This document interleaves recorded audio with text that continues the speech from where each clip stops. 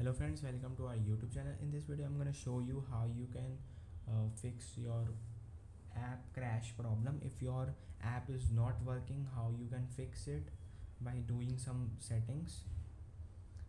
Before watching this video if you have not subscribed to our youtube channel then subscribe to it and like our video. So let's start. First go to settings then swipe down. You can see there's apps. Then go to apps like this. Uh, what your app is not working just click on clear cache then press back go to apps. And here it shows all your apps. You can see which uh, app is taking more uh, storage. Just go to storage and clear cache it will improve improve your overall experience while uh, going for an app.